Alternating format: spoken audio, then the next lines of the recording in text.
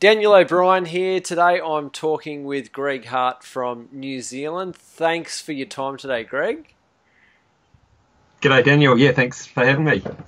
Today I wanted to talk to you about your journey. You've got um, quite a big farm there uh, in New Zealand, and as I am talking to people about regenerative farming, uh, I want to get people from sort of all different areas. I've spoken to Bob Wilt in USA that uh, grows berries. I've talked to farmers in, in Australia in, in quite dry regions, but your farm's probably a bit different. I want to, if you could share a little bit about your farm and a bit about your journey of regenerative agriculture for the last period of time. Yeah, sure. So Mangarara Station is about 600 hectares um, in central Hawke's Bay, which is the east coast of the North Island of New Zealand. Um, it's a traditional sheep and beef farm. And I guess it's been about a 20 year journey for us now, coming from a very traditional background, you know, a degree in agriculture and, you know, real production focused on, on our farming. And um, about 20 years ago, we, we had our first child. And, and again, you know, at that time, you start thinking about the future a bit more and thinking a little bit deep, more deeply about, you know, the food that you're giving your kids and, and what their future might be like. And so that sort of lent it, you know led us on this journey of of learning a whole lot more about you know the world around us. Um, one of the big ones for me was understanding you know the inputs going into our farm and you know, agriculture, particularly pastoral agriculture, is the backbone of the New Zealand economy. And that agricultural production system is based on bringing phosphate fertilizers out of North Africa with all the fossil fuel energy involved with um, you know digging that up and transporting it, putting it on a ship, bringing it here, processing it, trucking it, flying it, and it just didn't seem like a sustainable system to um, base, you know, the future of, of our economy, let alone, you know, the food system that that uh, we all need. Yeah. Okay. So um, that, that, was one of the big the big ones, and so it, it's really. Um, I guess been about connecting the three E's as they talk about them you know, the environment, um, energy, and the economy, and trying to you know connect the dots between between those threes and and realizing that all three of them have some pretty major headwinds um, approaching them right at this minute. And so, how do we negotiate our way through um, through these coming challenges and sort of create, you know, a space where humanity can can thrive um, and basically, that's all it's all about. Um, you know, reconnecting with nature and observing nature, and and you know, taking her as our guide. Yeah, yeah, fantastic. So, what, when you sort of made the change for regenerative agriculture, was it sort of did it happen sort of over a season or was there sort of an event like as you said when your kids were born like stop i've got to drastically do something different? Because like for some people it is. Something's happened they go i've got to redo this. And in australia some some people i've talked to like it was deregulation of the dairy like hey we've got to do something different. For some it was a major drought. What was it for you or was it over a bit of a season or one point yeah, no, it's gradual and it's ongoing. And you know, the cool thing about it, once you sort of step into um, the space of a regenerative agriculture, you know, you realise that you're never going to learn it all, but um, you know, your thirst for knowledge really, you know, increases because you just understand that there's a whole other world out there, you know, and particularly talking about that whole world that's underneath our feet. Um, learning, understanding that, you know, all the microbiology and um, you know, I, um, you know, the, the older you get, the more you realise you don't know. I guess is, is kind of the place that we're at at the moment. So it's certainly um, is over a long time, and it's been through a lot of learning, and you know, there's been a lot of um, you know global leaders that have that um, workshops and things that I've been to that have really influenced my thinking, and you know, it continues to evolve. Yeah, fantastic. So tell me a bit about your farm, maybe 20 years ago before you adopted some of the principles, and give us a bit of a snapshot of where it is now.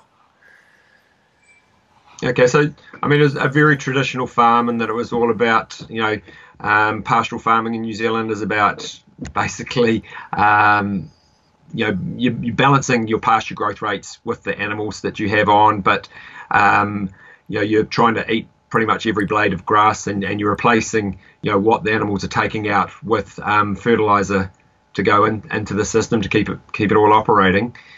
And so again, you know, our sort of path, we haven't you know got certified organic or anything like that yet because our focus has been around sustainability and you know the big one is really trying to get fossil fuels out of food production and understanding that you know at the moment you know most people on the planet are eating fossil fuels and the energy that's involved in producing our food and so so that has been um, reducing the inputs. We haven't taken all inputs out of the farm. We, we still have various sort of fertilizer, um, but more local based fertilizers um, going into the system.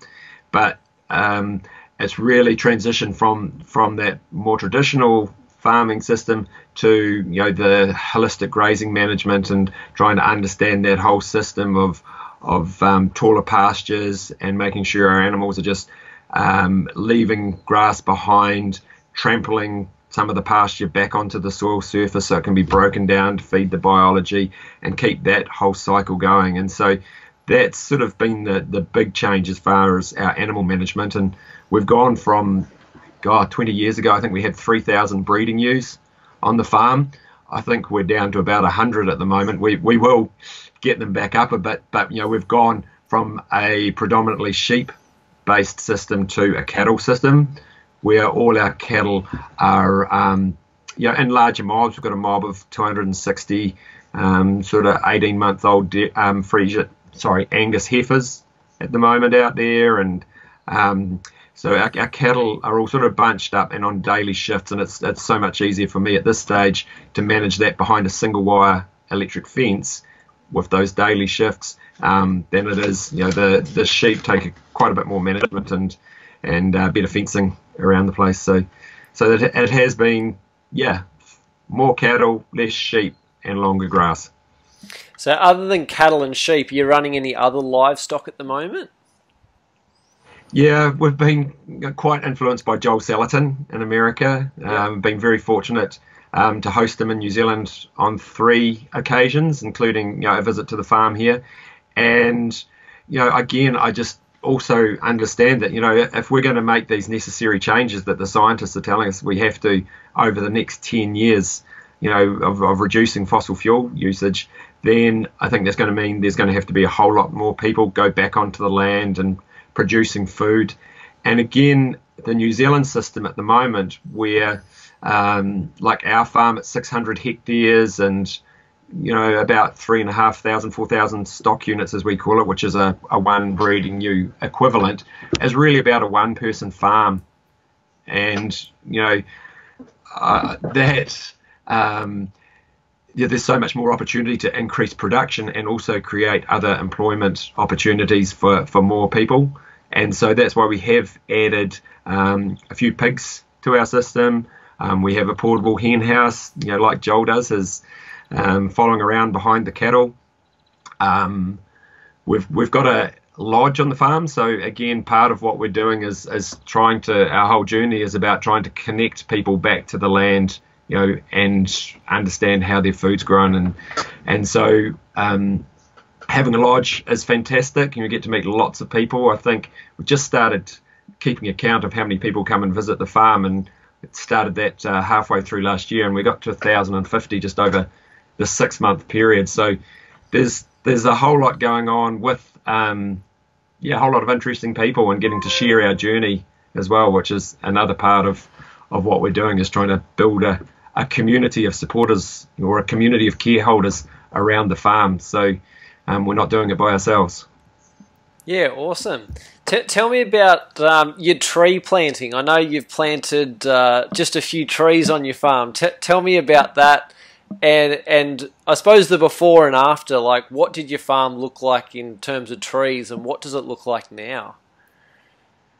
Yeah, well, our part of um, New Zealand and, and, Hawke's Bay here, you know, it can be a bit of a, a treeless desert because you know this country that was once forested before humans arrived here, and, and you know, I'd love to have a, a time travel machine where I could just go back a thousand years because New Zealand, you know, being the the last you know big landmass on the planet to be um, inhabited by humans, and you know less than a thousand years ago, you know, and we've changed our environment so much, you know, over that period of time, and largely deforested it, mm. and so you know now I feel that it is time, if we're going to do this, that we have to restore that balance between nature and humans because, you know, it's never going to go back to the way it was pre humans. And because, you know, there's almost 5 million of us living in this country at the moment. And so we've just got to find a space for ourselves to live alongside nature. And um, New Zealand is a, is a big food producer. Um, I forget what the number is exactly, but, you know, whether it's 20, 30 million people that you know we feed from New Zealand at the moment as being a, an export economy. Um, but there's still a lot of potential, I feel, to to get more trees back on the land. And um, on my farmer's income back in, I think it was around about 2008, um, didn't have a whole lot of extra money for planting trees. And so at that time, um, I approached Air New Zealand with an idea of, you know, exchanging air points for a tree planting program and they um, were just about to start the Air New Zealand Environment Trust and were looking for a project. So we were just really fortunate that we were the right place, right time, right story. And so we formed this um, relationship and had a budget for three years that allowed us to plant 85,000 trees on the farm. Um, most of those New Zealand native trees, but we have also included um, exotic trees, you know, through the pastures and um, around the farm. So you know, that's really, you know, transformed our landscape. And, um, you know, that happened at the time of 2008. And so it sort of coincided with the financial crisis. And so we got to the end of our three year budget and they kind of said there's, there's no more because the money wasn't flowing into the Environment Trust for people offsetting their flights as they had hoped. But, um, you know, it was a, a, pretty incredible three years, and um, we've continued to go along planting trees as, as best we can you know, since that budget finished, and I think we're up to about 110,000 trees now. Um, and again, that's with a whole lot of support from the community around us and um, crowdfunding, and you know, and it's just fantastic. And I think, you know, as far as climate change solutions, you know, regenerative agriculture um, is an essential part of that. Um, and part of that is including trees into our landscape and um, I think you know just looking at some numbers coming out of the states and and that around you know what they're able to achieve achieve through silvopasture type tree plantings while maintaining um, their animal production systems. Um, you know, I think New Zealand could be 200% um, carbon negative just by by implementing a silvopasture agroforestry type system. You know, on our 11 odd million hectares of um, pastoral land. So yeah, it's, it's, it's really exciting. And of course, you know, with that, you know, there's all those animal welfare benefits and a whole lot more natural um, nutrient cycling and all the biodiversity benefits. And so, you know, it seems like a no-brainer to me, but um, you seem to be a wee bit slow on the uptake there. But it's a it's yeah. a huge opportunity.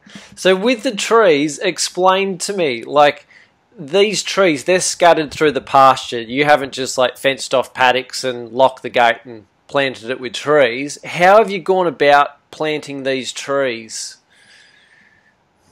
Yeah, well, with that early um, Air New Zealand money, we did plant a number of trees through paddocks, and there were some learnings there because it has been quite difficult to establish those trees with livestock. Initially, we put a sleeve around the trees. They were about probably one and a half to two meters tall when we planted them. We grew them, you know, in um, bags to that size, and then put a sleeve around them and then only grazed sheep in those paddocks for the yep. first few years. Yep. But it's been a long, slow process, and although I don't like straight lines, I think um, future plantings will be more probably either on contour or north-south facing, and um, just with a hot wire on each side of the the row of trees, and um, so we can still graze cattle between the rows. And you know, there's a big opportunity in New Zealand at the moment because we are able to claim carbon credits from our um, from trees, growing trees, and the definition of a Kyoto forest at the moment is as long as you have or have the ability to get to 30% canopy cut, you claim carbon credits. So, and you know, with carbon prices being 25 $30 a ton um, at the moment, you know, at current prices, you're able to earn about double, if not treble, um, from carbon what you are from from your animal grazing system at the moment. So, you know, the two work really well together, and so you know, huge opportunities. Yeah, yeah, fan, fantastic. So you said with the tree planting, that's something now that you just you'll just continue on um, each year, continue planting. Yeah, yeah, yeah, yeah, definitely. I mean, a lot of most of those trees we, we did fence off um, a 20 hectare gully that was kind of steep, eroding um, land on, on a hillside on a farm, and connect that up to um, about 15 hectares of old native forest for for some reason they forgot to cut that down back a couple of hundred years ago. So, yeah, okay. so we've, we've, we've added we've added to that um, another 20 hectares. So that's there. And there are a few forestry blocks. So, um, excuse the little dog, um, around as well. But yeah, just just uh, there's all sorts of everything. There's a whole lot of diversity out there, and of course that's the that's the catch cry is diversity, diversity, diversity. Yeah, yeah, right. And, and how have you found the trees? Like you said, when they were young, you had to sort of manage them with the livestock. But some of those early trees that you would have planted in 2008, 2009, are they at a size now that you're finding they're benefiting the livestock because they are providing shade and other benefits? Yeah, definitely. Yeah, yeah. No, so um, yeah, shade, you know, is a big thing. We do get um, hot summers here, and, and so you know the shade's pretty important for an animal welfare thing. And you know, there's a lot of poplar trees out there, and understand that you know they have quite when they're dropping their leaves, you know, in the autumn time, that has quite high zinc content in the leaves, and um, facial eczema can be an animal health challenge at that time of year, which you know zinc benefits that. So you know, it, it all works in and um, there's a native plant called flax. Harakeke is the Maori name for it. Um, again, you know, the animal, and that's sort of planted all around the paddocks, and, and the animals can self-medicate by chewing on some of this, and they, they love it, and, and getting, you know, the, the goodness out of it. I think, you know, some higher tannins and, and that to help, you know, self-medicate is also really benefit beneficial. Yeah, excellent. So with, so if you what what advice would you give to someone that they've been farming they might have been farming for 10 20 years and they've just been going down the traditional way of as you said they're just buying in fertilizer putting it on and just in that cycle. But they want to sort of jump off that treadmill. What advice would you give to them? Do they jump off cold turkey? How do they actually implement regenerative agriculture well, I think you know, it really is exciting times because you know that wave is, um, is is, taking off all around the world, and like in New Zealand here, there's um, some really cool groups you know starting to organise and and um, you know farmer-based groups called um, the one in New Zealand that's really leading the charge there is called Quorum Sensing, and so you know there's a Facebook there in our local community in Hawke's Bay. We've got a um, Hawke's Bay Regenerative Agriculture Group, and so there's other people around that you can talk to, and um, there's field days. Um, so you know, get along to those, and you know, because talk to other farmers, because farmers, you know, always um, pick things up a whole lot better when they can see it and touch it and feel it, and mm. Um, rather than sitting in a lecture theatre somewhere, it's it's a whole lot better if you can get out there and and actually, yeah, get onto a farm. Um, you know, I've been really, I've, I've listened to all the ground cover podcasts out of Australia and and um, you know, around really appreciate all that's going on over there. Although the big one is, you know, again, um, Darren Doherty is uh, a bit of a hero of mine, and um, you know, the big one is, and he talks about the first one and his um, levels of change is is the climate of the mind, and I think when you open up your mind to understanding that there is another way, I think that's that's the first and that's the biggest step. But you know, getting along to farms, talking to other farmers and like that will will help you um, make that jump and and then uh, yeah, hold on for the ride because it's pretty good. It's interesting you talk about the climate of the mind because yeah, I, I interviewed Darren Doherty just just a month ago, and, and as he always does, he, he brings that up and talking to other farmers, they do say that the mindset. And for you, Greg, how did you find the mindset shift from always doing it sort of the old way, the traditional way? Was that a struggle for you of like getting your mind looking at new solutions? How was that for you? Well, I'm not sure even if if it's the mind, if it's it's a change of heart, might yep. be as much of it because I think you know this really is each individual person's um, personal journey through life. Mm. And I think, you know, when we get over our egos a bit and understand that um, we don't know it all and can't control it all and kind of let go a bit and start working with nature rather than against it and trying to control and dominate things all the time, you know, I, I think, you know, that is the big shift. And, and I'd like to think that, um, you know, what we're seeing out on our farm at the moment, which is you know a whole lot more diversity, and, but to me a whole lot more beauty, is um, as a reflection of you know my journey through life, and um, just letting go of a whole lot of stuff, and um, you know working with others and and um, yeah, take, allowing others to come along on the on the journey, you know, with us, as um, yeah, ma- managing the land. So I think you know the farm is a reflection of what's going on and within us as well. Yeah. When you say, um, yeah, as you said, the the farm is a, a, reflection of, of what's going on. I just want to tie, tie that back to livestock. The the livestock. How have you found the health and performance of the livestock now compared to before you did regenerative agriculture and, and cell grazing, do you still need to use the same amount of medications? Are you still having the same issues? Or how has that changed? Because the livestock are actually a reflection of their environment, of what they're eating and how they're managed. Yeah, no, that's right.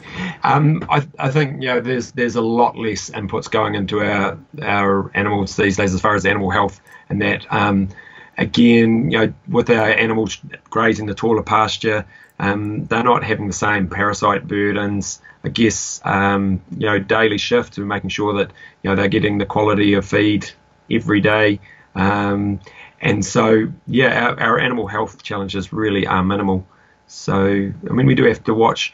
Um, there's still you know so much more we can do. And, and you know this year I really want to um, be looking at you know balancing the minerals and and you know offering free choice minerals to our animals. So you know I know we've got room for improvement there.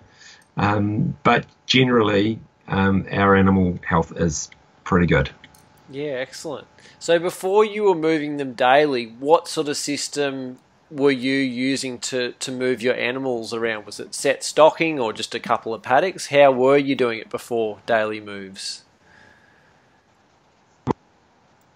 No, I was never stocking, um, set stocking. I guess most New Zealand farms, um, you know, are on a rotational grazing system, but it was just perhaps the the length of the pasture and um, the rest period before you came back onto the to that pasture is probably the biggest change that we've done as far as our grazing management.